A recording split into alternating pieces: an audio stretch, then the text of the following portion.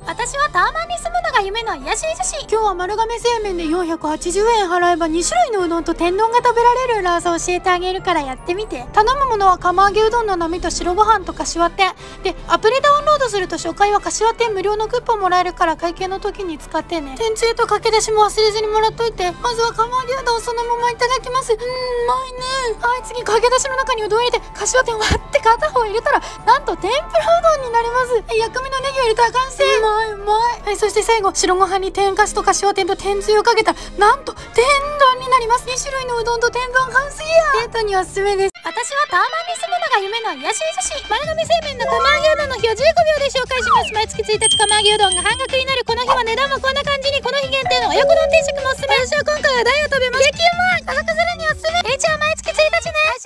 私はタワマンに住むのが夢の癒し女子今日は丸亀製麺で釜揚げうどん半額になるラーサー2実は丸亀製麺のアプリを入れると初回半額のクーポンがもらえるよ。わーい190円で食べれた。嬉しい。そして丸亀って無料トッピングが豊富なのが嬉しいよね。無料のわかめの天かすを満足するまで乗せたらもうお腹いっぱい。うまいな